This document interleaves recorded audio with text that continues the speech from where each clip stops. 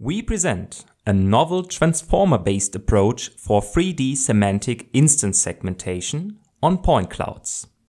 Given a 3D scene, our approach called Mask 3D predicts accurate 3D semantic instances. Our method differs significantly from conventional methods for 3D instance segmentation, which mostly rely on voting and grouping paradigm. In this example, we show a U-shaped table. Here, each point votes for its instance center, depicted as a red big point in the middle. We observe that center voting can fail for large and irregular shapes. As the center votes are widely spread in the scene, the grouping stage implemented as hand-tuned distance-based clustering consequently fails and outputs multiple table instances. Instead, our method, Mask3D, does not rely on any kind of voting and grouping. All instances in the scene are simultaneously represented as semantic heat maps. We see that the table heat map has high confidence over the full extent of the instance, which results in a correct prediction. In contrast to modern approaches, which predominantly rely on geometric clustering techniques, Mask3D does not rely on any highly 3D specific components, such as center voting and manually tuned distance-based clustering. Building on the successes of recent transformer-based methods for object detection and image segmentation, we propose the first transformer-based approach for 3D instance segmentation.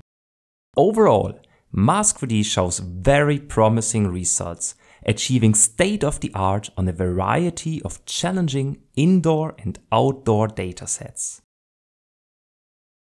Our model predicts instance queries that encode semantic and geometric information about each instance in the scene.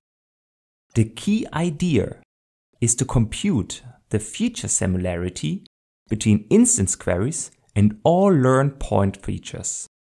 This results in instance heat maps over the entire point cloud. After normalization and thresholding, these heat maps with their associated semantic class yield the final semantic instance mask for the 3D scene. We now discuss the overall architecture of Mask3D. We obtain strong multi-scale point features from a sparse convolutional backbone. At the core of the model are instance queries, which each should latch onto one instance in the scene and predict the corresponding point level instance mask. To that end, the instance queries are iteratively refined by the transformer decoder which allows the instance queries to cross-attend to point features extracted from the feature backbone and self-attend the other instance queries. This process is repeated for multiple iterations and feature scales, yielding the final set of refined instance queries.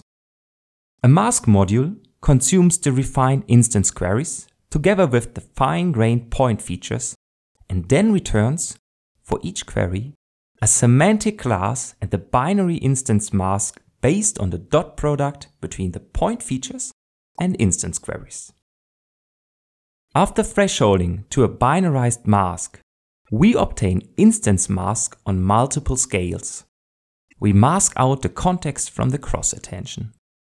Moreover, after the final binary thresholding, we obtain a per point instance mask on full resolution. Overall, Mask3D shows very promising results. It outperforms top performing methods on the ScanNet hidden test set by a large margin of 6 MAP. Even on ScanNet 200, with an order of magnitude more class categories, it outperforms highly specialized methods by 12.4 MAP without any modifications. On STPLS3D, a synthetic outdoor dataset, Mask3D achieves state-of-the-art with a margin of 10.9 MAP. We see Mask3D as an attractive alternative to current voting and grouping based approaches. Try out Mask3D on your own scans by following the QR code to our interactive demo. Thank you for watching.